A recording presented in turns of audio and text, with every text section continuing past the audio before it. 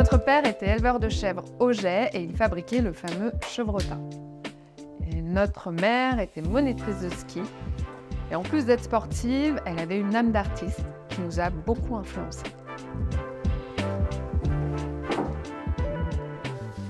Aujourd'hui, grâce à cet héritage familial, nous avons créé un lieu hors norme, moitié bergerie, moitié atelier de fabrication de poterie.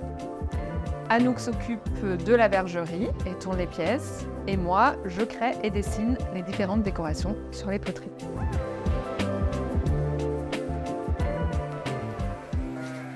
Je suis passionnée par cette activité d'agricultrice où je prends soin de mes brebis toute l'année et des génisses en été.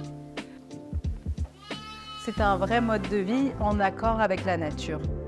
J'adore travailler en lien avec les saisons les parcs durant l'été et les soins aux agneaux pendant l'hiver. Je me suis formée aux pratiques du tournage et de l'émaillage en 2002. J'ai aussi travaillé pas mal chez différents potiers pour m'imprégner de ce métier aux multiples facettes. J'aime le contact avec euh, la terre, c'est un temps méditatif offert par le façonnage des pièces. Je suis attentive aux détails et j'essaye de créer sans cesse de nouvelles formes. J'ai commencé ma carrière de potière et de bergère en 2008. Il n'y avait pas de potier au jet et j'ai dû me faire connaître. Notre atelier et notre bergerie sont tout au bout de la route du Mont-Chéry. Nous y avons aussi une petite boutique où nous proposons nos créations. Il a fallu se faire connaître au début, c'est pourquoi nous avons participé à de nombreux marchés, des marchés de potiers ou des marchés du coin hebdomadaires.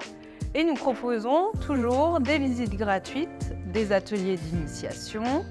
Et le bouche à oreille a fonctionné très vite. Et maintenant, la quasi-totalité de notre production est vendue sur place à la ferme.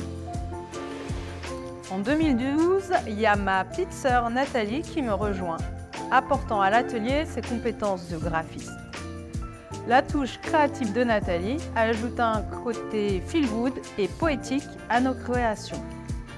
Notre objectif, c'est concevoir une poterie de tous les jours qui rend le quotidien joyeux. Nous fabriquons de la vaisselle en grès blanc.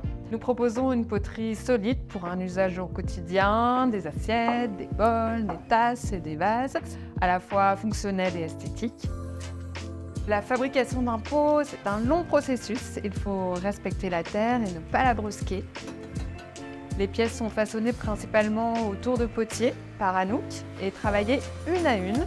Il y a deux cuissons. La première à 960 degrés et la seconde à 1280. Je les décore tout à la main. Les aspirations sont variées, elles changent régulièrement. Chaque pièce est unique. Et ensuite, les pièces sont vernies grâce à un émail alimentaire. Anouk et moi, on est nés dans, cette belle région, au Jet, et c'est là qu'on élève nos filles. On aime euh, les beaux paysages, l'alternance euh, des saisons. En hiver, on adore euh, randonner en ski. En été, on chousse les baskets. le changement saisonnier, très important en montagne et ça joue sur notre travail. On suit les saisons, euh, il y a la fabrication, la vente, les rencontres, euh, l'alpage, ça rythme les années.